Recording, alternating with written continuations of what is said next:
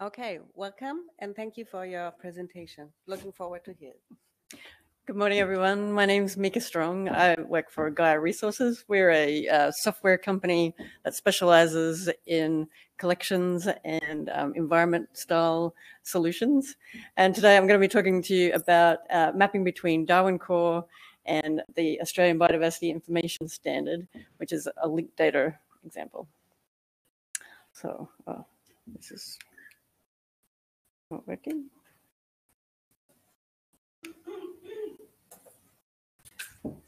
Oh, there you go. It's working now. cool, cool. All right. So um, the, the project that I want to talk to you about this morning is uh, what we call the BDR, which is a biodiversity uh, data repository um, made up of Australian biodiversity data that brings together government data and industry data and research data to facilitate government decision making and reporting. It uh, uses the underlying data model of ABIS, which is the Australian Biodiversity Information Standard, which is a, a fair data standard, which has a flexible and extendable model that um, really sort of focuses on, um, sorry, focuses on the uh, activity sort of style of um, the data that it looks at. There are sort of major classes include site and site visits, samplings and producing samples, where you can make observations and uh, samples can have various attributes. So you can sort of use these major classes that are defined within themselves and um, you can have multiple of those within the data model that you're representing.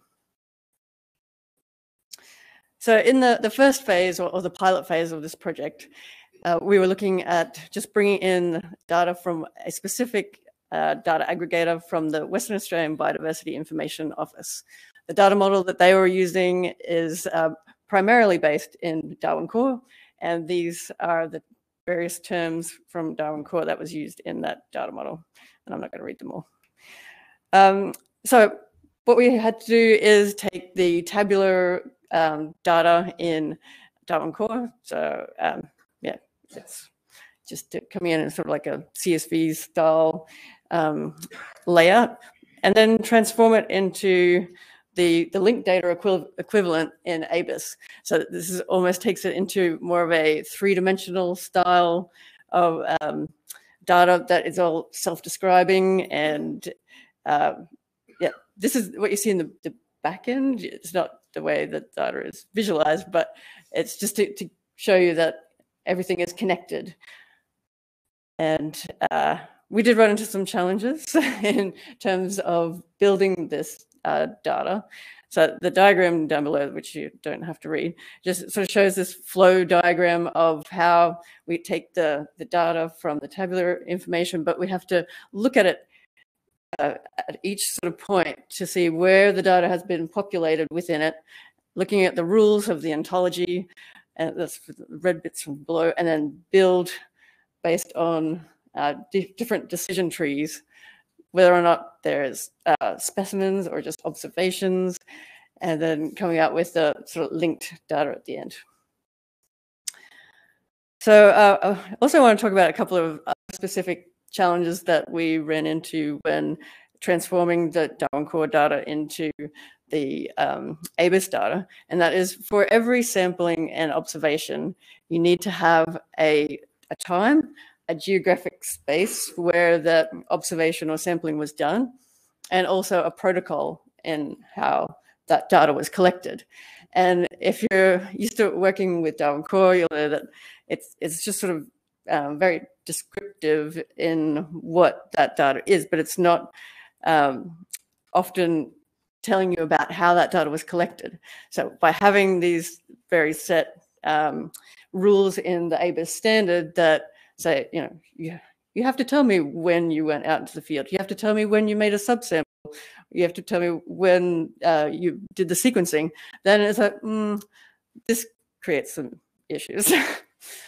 we did come up with some workarounds where we've got a um, like a qualified value that says we, we don't know what time this was done, so we will store the, the time of the previous sampling that we did know about as an interim to get through the standard, but um, that, that's not data that we would project out at this time.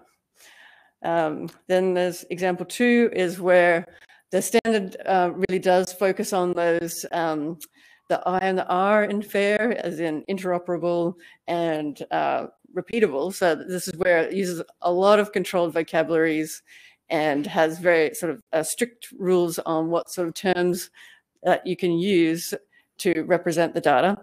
But yeah, so this is working great for FAIR data.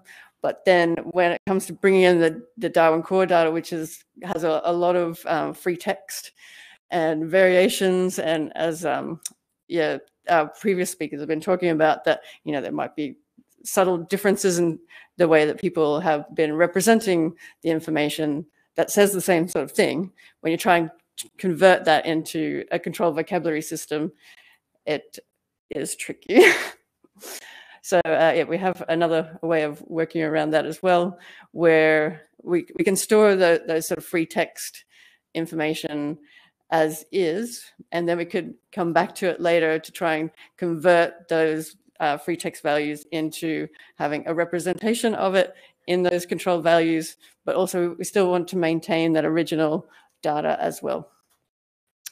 So um, in summary, ABIS is great in terms of um, representing that very fine detail of the sampling events and creating the data along the way but it does uh, create some limitations when we are trying to convert summary data that just gets that high level of, you know, what are the, the nuggets of information that you want to take away and also um, from different data providers that are bringing data into to one sort of data model source.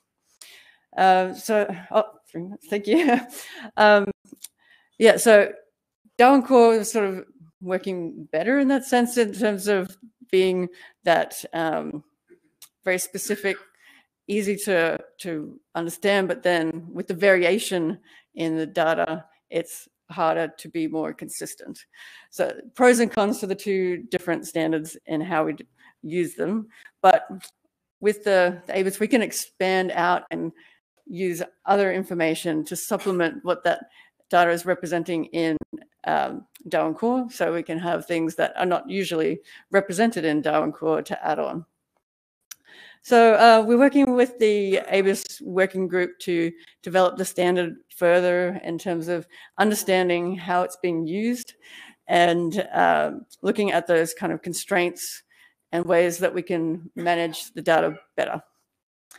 So um, that is it from me. And I think I went under time. Yay. cool, cool. Thank you, everyone. Thank you very much for your presentation. So I invite Hannah to the stage.